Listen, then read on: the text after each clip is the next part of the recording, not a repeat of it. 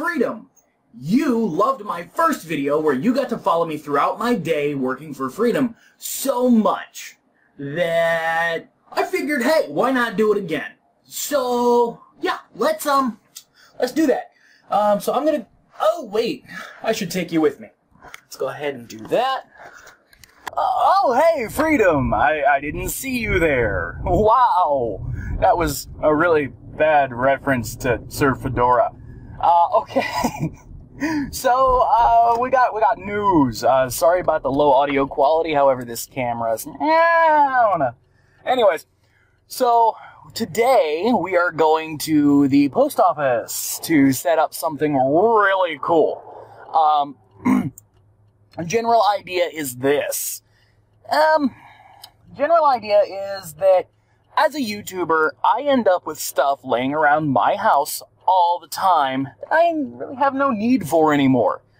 And I could either sit on it until no one could ever use it for anything, or I can pass that along to a YouTuber who may need it. And that's the idea here, is kind of a big brother program uh, for Freedom Partners and maybe even YouTube wide one day. That would be awesome. I would love to see that. Um, but yeah, basically, here's the deal. I would be setting up a P.O. box, and um, I would be giving that P.O. box out publicly on YouTube videos. It might be in the description, depending on how, how far we get in the setup process today. Um, we would put that in video descriptions and even maybe on a part of the Freedom website somewhere. And yeah, and then people could just like send their gear that they really didn't have a need for anymore. Uh, and then we would, you know, we would find partners that needed it, and you know, we would pass that along. Uh, I know that probably somewhere in the comments someone will say, McGarry said I want somebody old, somebody's old stuff. You may not. But there are partners out there who have a lot of creativity and who have a lot of wishes to and wants to, but they just don't have the gear to make it happen. And that's one of the things that we are looking to uh, to fix, because I personally have an entire computer in my closet that maybe isn't top of the line, but I, I know that I could, you know, I could pass that along to someone who doesn't have one or just has a really old laptop. Um, so yeah.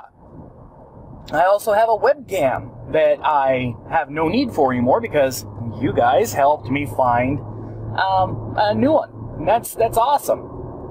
Um, so yeah, I mean, you know, all of this stuff, and I'm sure I am not the only one. If you have gear sitting around your house that you no longer have a use for, let us know in the comment section down below. Uh, so yeah, we're, we're, we're on our way to do that. I was really expecting that explanation to take longer. So this is awkward.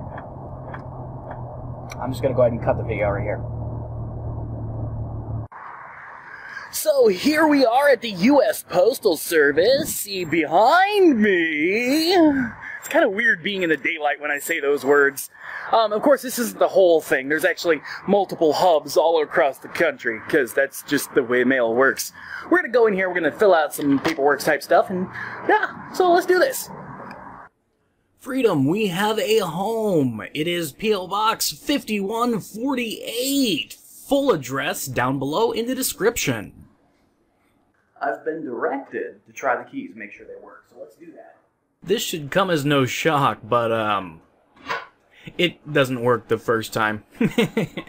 Silly Anthony and his keys. We now have the proper key, which we can open our new home. Freedom, we have a P.O. box.